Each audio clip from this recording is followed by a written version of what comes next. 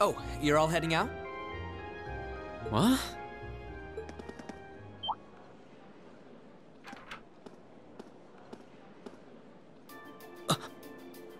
Isn't that... Huh? What are you doing here, Lechter? You miss me already? Sure did. I'm gonna be back in Crossbell starting the day after tomorrow. Might never have the chance to see you again in this lifetime, so I figured I'd drop by and say hello. Shh, whatever. You're so silly.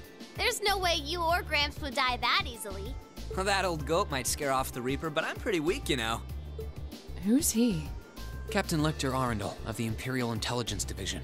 We saw him while we were on our field study in Nord. He's the one supposedly responsible for negotiating with the Republic's army to prevent war from breaking out. But So he's the Iron Blood they call Scarecrow.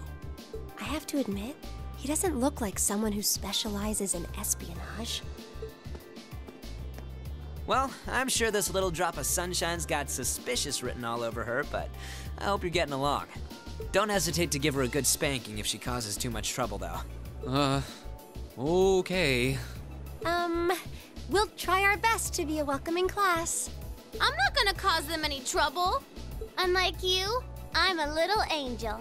What kind of little angel would casually whip out something like Agate Gram in public? Do you have any idea how much overtime we put in just covering up for you? Huh? You do? Hmm.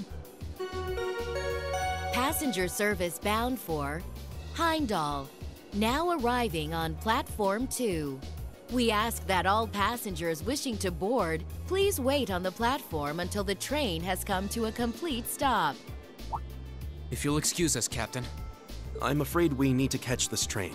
Oh, sure thing. Uh, good luck out there, guys. Oh, and by the way, I- I'd prefer it if you referred to me as secretary rather than captain in public. After all, I am a second secretary for the Imperial government.